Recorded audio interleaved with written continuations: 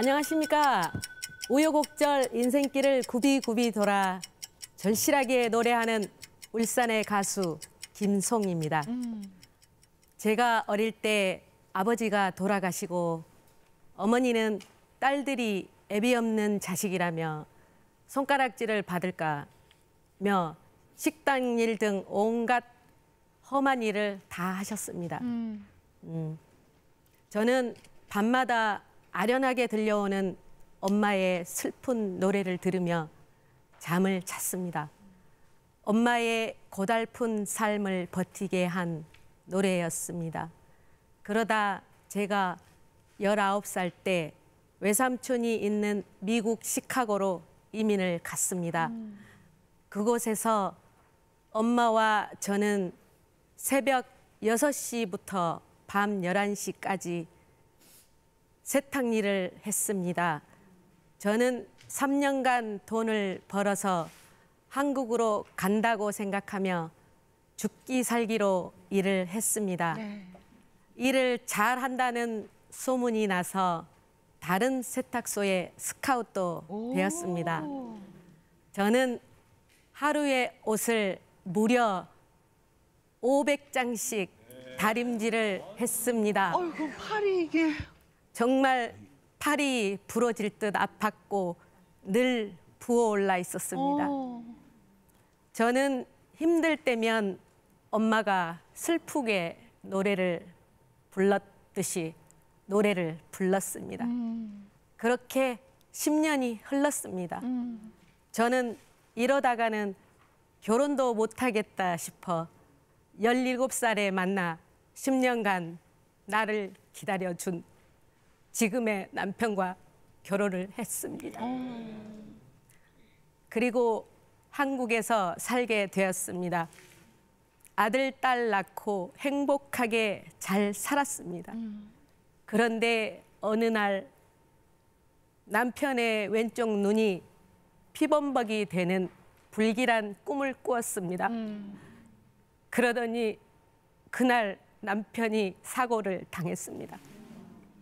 남편은 왼쪽 각막 척추를 하게 되었고 왼쪽 눈의 시력을 잃고 말았습니다.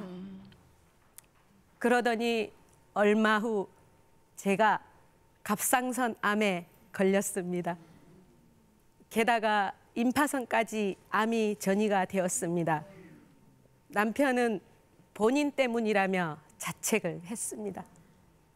이때도 저는 엄마가 불렀던 그 노래를 부르며 견뎌냈습니다. 그런데 이게 웬일입니까? 한쪽 눈으로 열심히 사업을 하던 남편이 그만 부도를 맞게 되었습니다. 집도 집기류도 모두 빨간 딱지로 도배가 되었습니다. 아이들과 저는 집에 찾아오는 무서운 사람들로 인해 공포의 삶을 살게 되었습니다. 그러나 저는 엄마로서 강해져야 한다는 생각으로 버텼습니다. 이제 세월이 흘러 남편과 아이들, 저, 우리 가족은 모두 열심히 일을 합니다. 저는 가사 도우미의 대리운전을 하며 생계를 이어가고 있습니다. 열심히 살아가고 있는 가족들이 제 노래를 듣고 힘을 낼 수 있었으면 좋겠습니다. 우리 가족 모두 사랑해요. 네. 가족들의 힘이 되길 바라는 마음으로 오늘 노래합니다. 김송 씨가 곡 강민주의 해룡포입니다.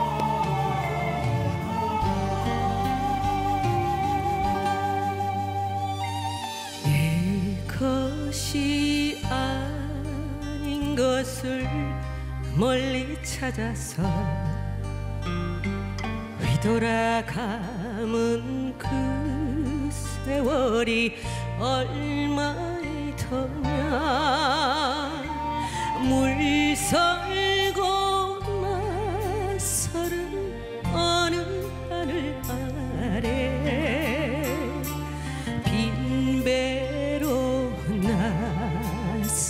있구나.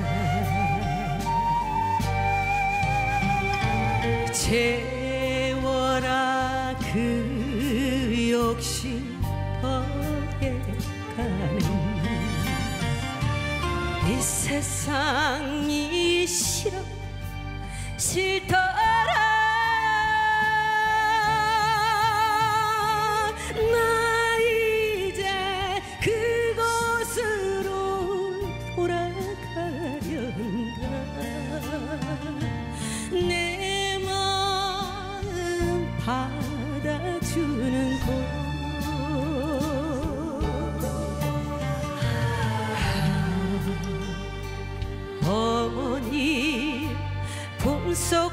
같은 그곳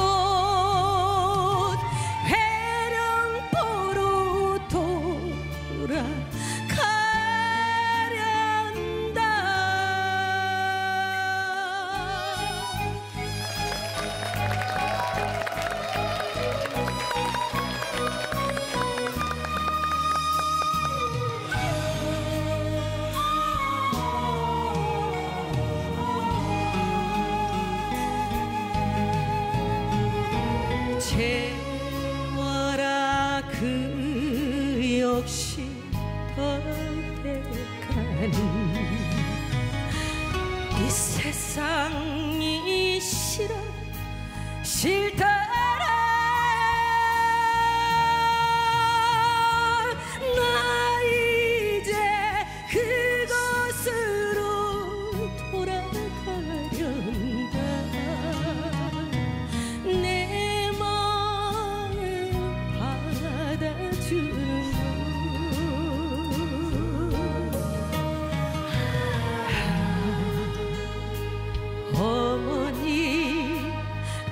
숲속 같은 그곳.